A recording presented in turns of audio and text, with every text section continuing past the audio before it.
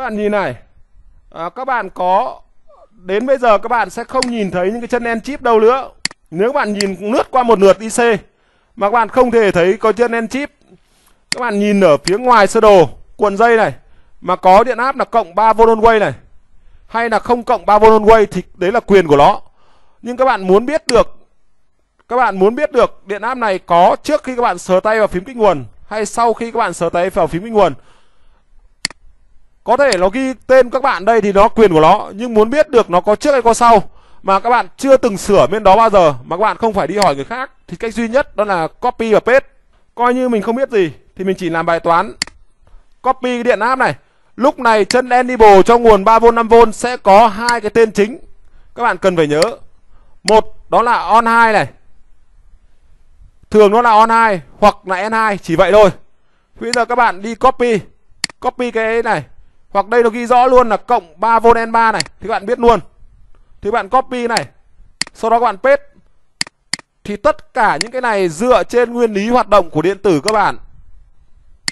Các bạn lách này. Ví dụ lách đến đây, các bạn biết là nhìn này. Các bạn nhìn thấy này, nó có ba đường mũi tên đưa vào. Một đường nó đánh dấu sao, thì tương đương với điều kiện là linh kiện này không tồn tại trên mạch. Nhưng nếu các bạn tinh ý thì các bạn có thể test IC này sống chết ở tỷ lệ 99% bằng cách rất đơn giản như sau. Đó là các bạn ở đây này. Những cái vị trí nó ghi GS này là những cái răm. Nếu các bạn thấy nó mất điện áp ở chân số 27 của IC này, thì các bạn chỉ cần dùng một con dao, các bạn cứa hai cái răm GS 402 và GS là GS 402 này ra là điện trở R106 và điện trở điện trở R160 và điện trở R159 và các bạn cho vào đây một con điện trở không ôm. Thì lúc này, các bạn đang enable cho chân số 27 này. Bằng một cái nguồn là cộng 5V quay. Bằng một cái nguồn này luôn. Những cái điện trở trong laptop mà các bạn nhìn thấy cái chữ F đằng sau này này. Sau giá trị K điện trở thì hoàn toàn có thể thay bằng điện trở không ôm. Các bạn nhớ cho mình. 95% những cái điện trở cứ có chữ F đằng sau các bạn có thể thay bằng điện trở không ôm không nhất thiết phải đi tìm đúng giá trị 39k các bạn. Thay vào đây làm gì cho nó mất công? Cái khái niệm ép đằng sau chính là khái niệm điện trở cầu trì. Vì vậy các bạn có thể thay bằng điện trở không ôm. Vì vậy nếu các bạn lém, cắt bỏ hai đường mạch, đó là PJ60 PR60 và PR59 và câu điện trở không ôm qua PR63 thì các bạn sẽ câu thẳng điện áp 5V vào đây. Nếu sinh ra nguồn nếu sinh ra nguồn 3V của cuộn dây này thì tương đương với điều kiện là các bạn đang đi lỗi một trong hai đường này. Nó kéo xuống mát. Còn nếu không sinh ra thì các bạn không cần phải đi sửa những đường này làm gì cả. Đi kiểm tra lại quanh IC lúc này lỗi thuộc về IC muốn biết được nó là đường nào đường nào lỗi ấy, mà dẫn đến tình trạng đó là mất điện áp ở chân số 27 của IC thì vẫn rất đơn giản. Đó là cứa cái răm này ra cứa cái răm này ra cứa cả hai cái mà không sinh thì đi sửa một cái trạng thái, đó là 3V 3 on way on còn đầu tiên thì luôn luôn phải sửa cái trạng thái, cứa cái răm là PJ60 này ra. Vì cái chữ thêm này này, thêm này trong laptop người ta gọi là khái niệm cảm biến nhiệt độ ngắt khi có trạng thái quá về nhiệt.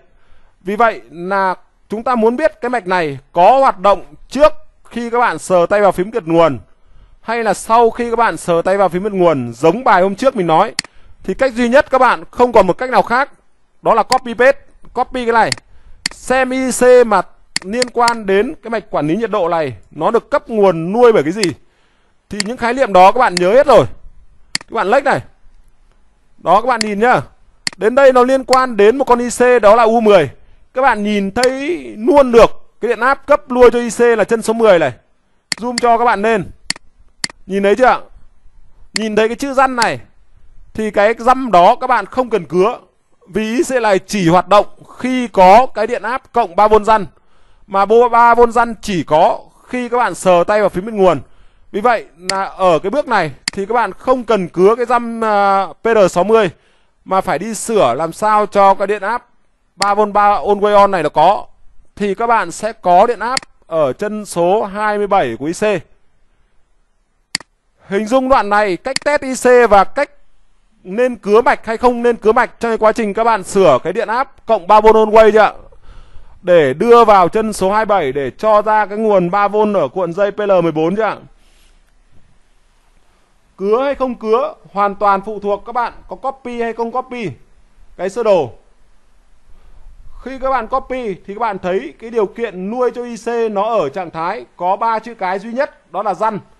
Thì các bạn lập luận luôn được ba chữ cái đó như bài 1 mình đã nói. Đó là bắt buộc phải sờ tay vào phím kích nguồn. Bắt buộc chipset phải chạy nó mới có điện áp. Vì vậy chúng ta chưa sờ tay vào phím kích nguồn thì không cần cứa cái dăm PG uh, à, PG60 làm gì cho mất công.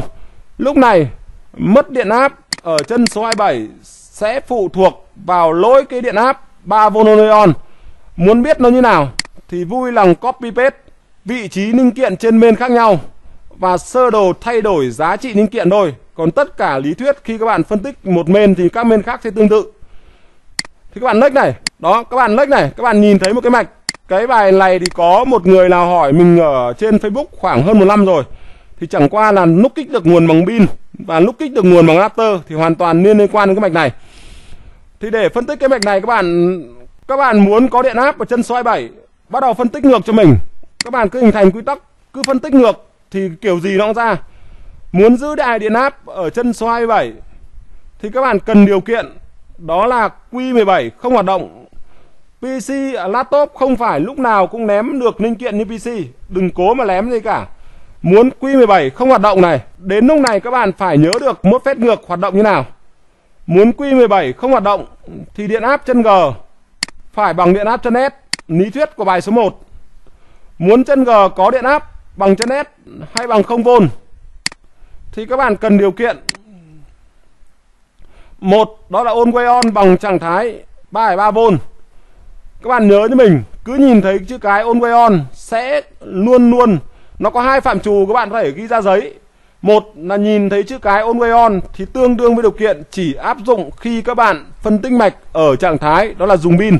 On way on đứng một mình này này khi nào các bạn dùng pin thì các bạn phân tích cái này một cái trạng thái thứ hai các bạn để ý ghi chép ra giấy cho mình. Đó là nhìn thấy chữ cái đó là 51 gạch on thêm chữ thăng. Thì những cái đó các bạn chỉ phân tích khi nó dùng pin. À, khi nó dùng pin còn khi after các bạn không phân tích cái điều kiện đó. Vì vậy để cho chân G của Q17 có điện áp bằng không thì các bạn cần điều kiện. Các bạn cần điều kiện đó là Q21 này. QI1 hoạt động để cho QI1 biến thành một con điện trở không ôm thì tương đương với điều kiện là điện áp chân G phải lớn hơn điện áp chân S. Muốn có điện áp cộng 3V on ghi là 3V on thực tế đo được 5V thì điều kiện đó là Q17 không được phép hoạt động. Một con mốt phép ngược không hoạt động khi chân G bằng chân S hay chân G bằng 0. Đây chỉ là bài toán phân tích ngược. Chân G của Q17 bằng 0. Khi một trong hai điều kiện on quay on bằng à, 3,3 để cho Q22 hoạt động và asin bằng 3,3 để cho Q21 hoạt động. On quay on chỉ phân tích khi các bạn dùng pin. Nhớ cho mình thuật ngữ nữa, đó là 51 on thăng chỉ phân tích khi các bạn bật máy bằng pin. Khi ở trạng thái after không phân tích. Khi các bạn hoặc với laptop thì các bạn có một khái niệm nữa gần như người ta gọi là khái niệm chuyên ngành. Có nghĩa là 100 con laptop thì 99 con.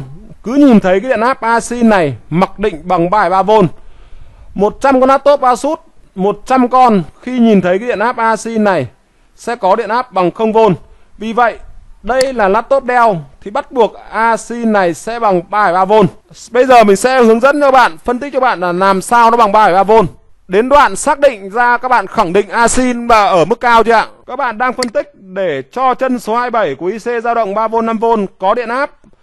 Khi dò ngược các bạn về cái vị trí của Q17 Muốn cho Q17 không hoạt động thì cách duy nhất Đó là chân G của Q17 có điện áp bằng 0 G Q17 bằng 0 Thì G của Q21 phải bằng 3,3 Và bây giờ chúng ta sẽ làm bài toán phân tích Để làm sao G Q21 bằng 3,3 Hoàn toàn dựa vào lý thuyết điện tử Và nó dựa vào cái phân tích của bạn thôi có chỉ có điều các bạn cần nhớ với tất cả laptop trừ dòng Asus cứ nhìn thấy cái chữ acin hoặc là acavin thì mặc định điện áp đó bằng 3,3 là được. Còn với Asus thì nó sẽ bằng 0V. Đến đoạn này có hai cái thuật ngữ chuyên ngành các bạn cần nhớ đó là on way on chỉ phân tích khi các bạn bật nguồn bằng pin. 51 on thăng 51 on và thêm số thăng đằng sau. Chỉ phân tích khi các bạn bật nguồn bằng pin. Và asin mặc định bằng 3,3V thêm một cái thuật ngữ trước đó là cái thêm sẽ phân tích khi cái điều kiện cấp nguồn nuôi cho IC của nó ở cái trạng thái nào.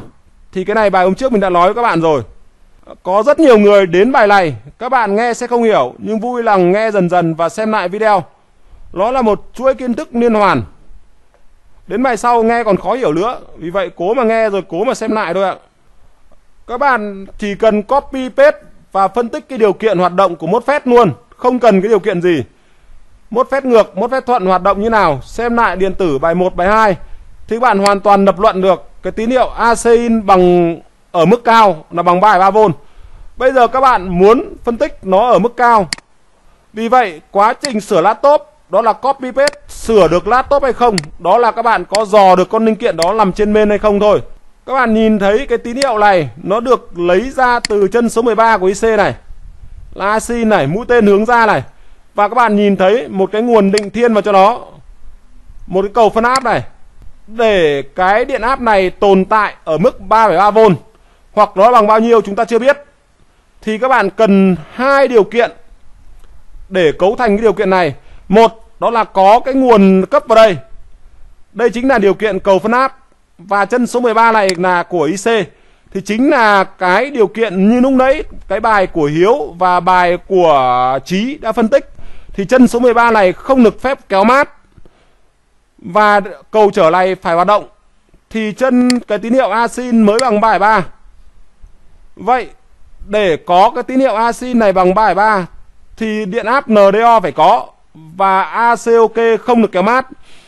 Muốn biết NDO bằng bao nhiêu ACOK khi nào kéo điện áp xuống mát và khi nào nhả điện áp ra? Cách duy nhất là móc 8731 copy paste, sau đó vào Google.